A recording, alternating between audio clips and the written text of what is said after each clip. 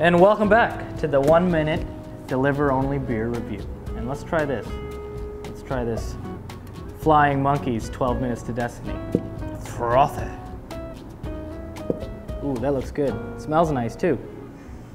Hibiscus smelling, very strong raspberry. It's tart, it's tarty, I could say that. Um, it's classified as a lager apparently, and it looks like they brew it, brew it in the same fashion as you would brew a lager, but in the final stages they would throw in the flavoring agents like um, raspberry and rose hips, it says here. It has a good mouthfeel. It's very light on the palate. Slight tartness in the back of the mouth here.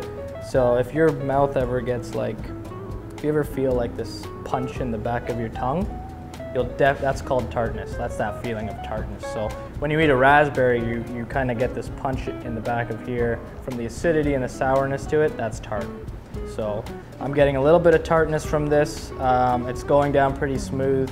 It has a good mouth feel, very nice head accumulation. It's holding, as you can see. So I give it uh, about a two star out of three because it is um, it's easy drinking, and I could drink a couple of these uh, when I go out or whatever. So um, cheers to all of you, and uh, thank you for joining us.